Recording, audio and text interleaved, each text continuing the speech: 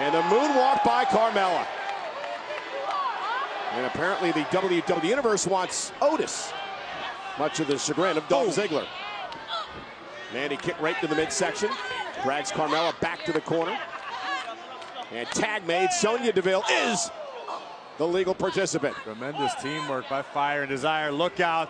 Full head of steam. Oh, and Sonya taking out Carmella is enough to put her away. Hook of the leg, wrap the other leg, and a kick out though by Carmella at two.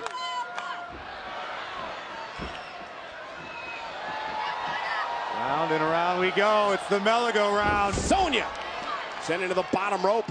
And now Carmella with a kick. Down goes Deville. Carmella be well advised to make a tag to Dana Brooke. And she does. And here comes Dana Brooke. And the double team by Brooke and Carmella.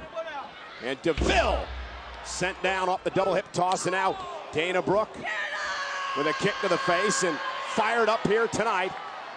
Sonya all out of sorts in the corner. There's the athleticism of Dana.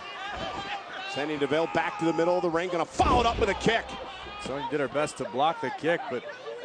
And Dolph Ziggler now providing a distraction, which allows Sonya to make the tag to Mandy Rose. Dana does not realize the tag was made, doesn't realize that Mandy's legal. And Mandy takes oh, advantage oh, with man. a one knee. Here's the cover, and it's over. Here are your winners, Fire